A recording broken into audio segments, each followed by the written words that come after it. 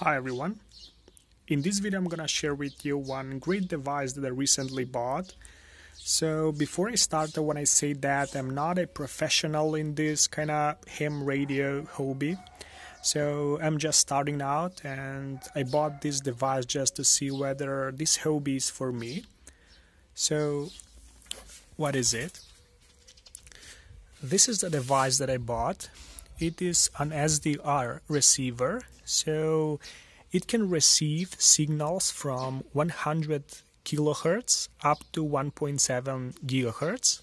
So so in order to be able to receive signals with this device we've got to have an appropriate antenna for different bands. So I I've got one antenna one antenna that I created. One friend of mine helped me and gave me schematics uh, to create this antenna. So it works great uh, from 88 megahertz up to 108 megahertz or the FM spectrum, but you can design different antennas. So what's great about this device so it can receive the analog signal from the antenna and convert it into a digital. So receives it, it has analog to digital converter in it, and through a serial communication, it sends the signal to the computer, and after that, we can visualize that signal and see what's inside of it. It is great. Before these devices, people had to buy a lot more expensive uh, radio receivers, and because everything he need had to be solved electronically. So previously, people had to put different electronics for filters or mixers or everything that is inside of uh, one radio receiver. But right now, everything is solved with the help of the computer. So right now, we can receive the signal and with the help of various programs and various plugins that people made we can visualize that signal and see what's inside of it which is great. So this is the spectrum. We are on 101 megahertz. It is one radio that is located in in my neighbors countries in Serbia.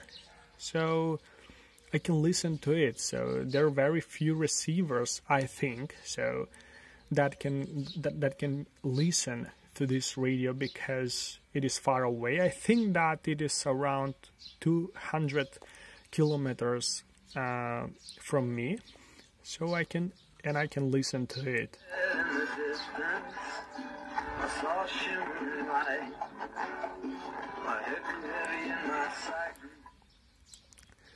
That's great. So there are various signals that are available right now. So the the software gives me. So let's test the capabilities of the device. So this fob works on 400 and around 30 megahertz. So let's test it out. If I press it, here is the signal.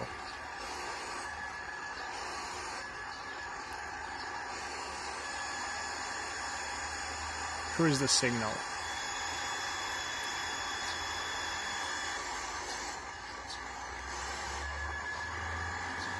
It is a little bit, a little bit unstable, but maybe the fob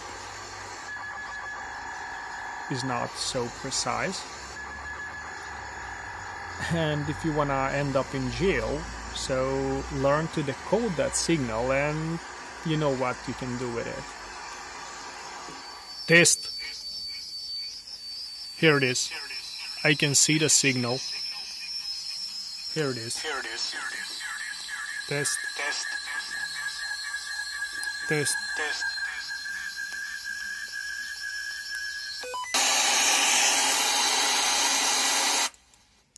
I'm on around 433 megahertz. So, and I can listen to this device and I can also see the signal. So yep it works.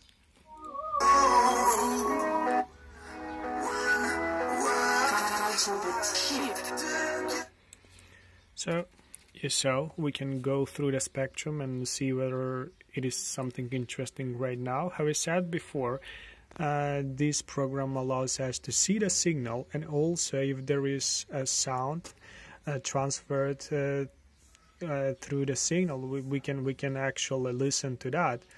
But also people created a lot of interesting uh, programs and plugins that that we can investigate. And decode images kind of video or a lot of interesting things. So i'm gonna when I've got free time, I'm gonna try to play with it, and if I find something interesting, I'm gonna share with you.